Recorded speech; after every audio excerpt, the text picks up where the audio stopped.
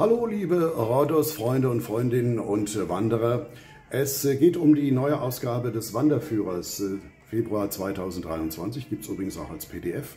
Äh, kann man auch äh, bei bod.de sich herunterladen oder natürlich das Buch da auch direkt bestellen oder sich auch informieren über rodoswandern.de. Heute möchte ich euch meine Top 3 Wanderungen für die erste Hälfte des Jahres 2023 verraten. Und das wäre auf Top Nummer 3 die Wanderung 31. Das ist die hier. Hier ganz oben in Richtung Rodderstadt. Und das ist eine, wie ich finde, sehr schöne Wanderung. Geht unten in Trianda los auf den Filerimusberg. Oben kann man sehr viel entdecken. Es gibt ein Kreuz. Es gibt äh, sehr viele Aussichtsmöglichkeiten. Es gibt einen Kreuzgang dort oben. Es äh, gibt da ein Kloster. Ähm, ist eine sehr interessante Sache, sollte man auf jeden Fall, wenn man in Rhodos war, auf jeden Fall mal gesehen haben. Wanderung ist, äh, die Wanderung 31, ist lang, etwa 6 Kilometer und man braucht 2 Stunden und 40 Minuten. Zunächst mal die Wanderung auf dem Berg, ja, da kommt man schon mal ein bisschen ins Schwitzen, aber bergab ist es dann relativ entspannt. Da geht es dann auch an, äh, an einem, einer Kirche vorbei und oben kann man übrigens auch einkehren. Die Platz 2, genau, nach 3 kommt 2, wenn man von hinten hier denkt. Ne? Platz 2, äh, den ich vorschlagen würde als Wanderung, das ist die Wanderung 21. Und zwar ist die hier in der Nähe von Achangelos. Ich zeige euch das mal, das ist also ungefähr hier.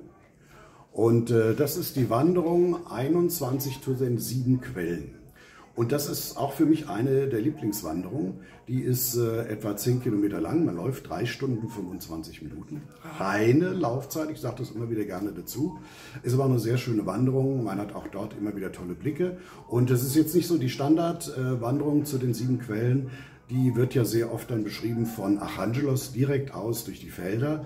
Meine Wanderung startet ähm, in der Nähe eines kleinen Weilers und zwar direkt an einem Brunnen. Es geht da auch erst durch verschiedene Olivenfelder durch. Es geht dann über einen Hügel rüber und dann kommt man langsam äh, bei den sieben Quellen an. Da gibt es auch eine gute Möglichkeit einzukehren, sich auch zu erfrischen. Gerade auch im Sommer ist es da relativ frisch. Es gibt da auch äh, ja, eine Art Wasserfall und es geht dann zurück auch wieder über einen Bergkamm zurück bis zum Ausgangspunkt an die Quelle. Wie ich finde, eine sehr schöne Wanderung, ist äh, sonst auch nirgends verzeichnet.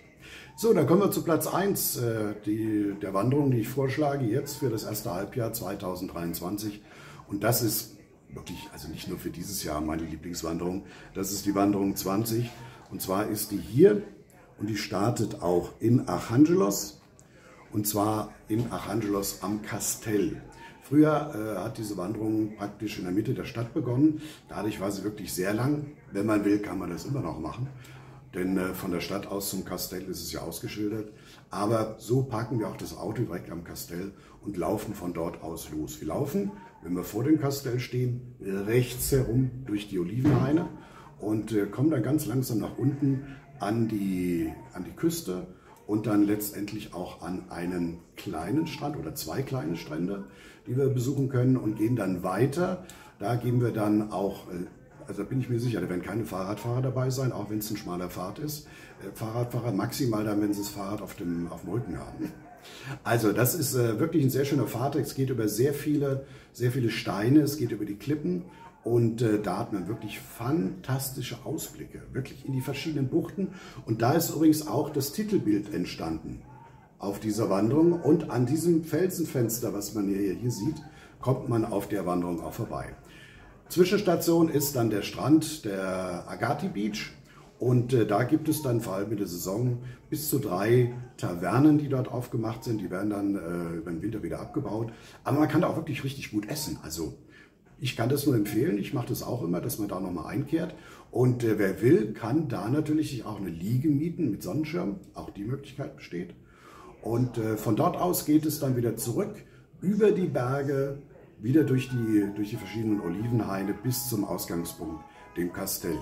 Die Wanderung ist mit einer der längsten, 15 Kilometer. Wenn man vom Ort aus losgeht, sind es ungefähr so 18, 19 Kilometer. Aber meine Wanderung ist beschrieben ab dem Kastell. Da sind es dann 15 Kilometer und man läuft vier Stunden hin und zurück, also praktisch bis zum Agati Beach und wieder zurück zum Ausgangspunkt.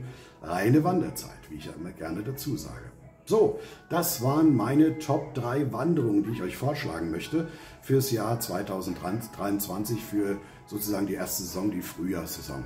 Ich wünsche euch viel Spaß. Wenn ihr irgendwelche Fragen habt, schaut nach auf der Facebook-Seite Rodders Wandern oder schaut auf der Webseite nach, wenn es da irgendwelche Updates gibt. Die habe ich ja dort auch immer veröffentlicht unter rodderswandern.de. Und wenn ihr Fragen habt, schickt mir gerne eine Mail oder bei Facebook über rodderswandern.de. Da beantworte ich auch gerne jede Frage. Oder wenn ihr irgendwie eine, eine Anmerkung habt, weil sich vielleicht irgendwie das Haus ist nicht mehr rot, was ich da beschrieben habe, sondern jetzt blau. Wäre es ja ganz schön, das zu wissen, dann kann ich das weitergeben. So, viel Spaß auf Rodos beim Wandern wünscht Dieter Döring.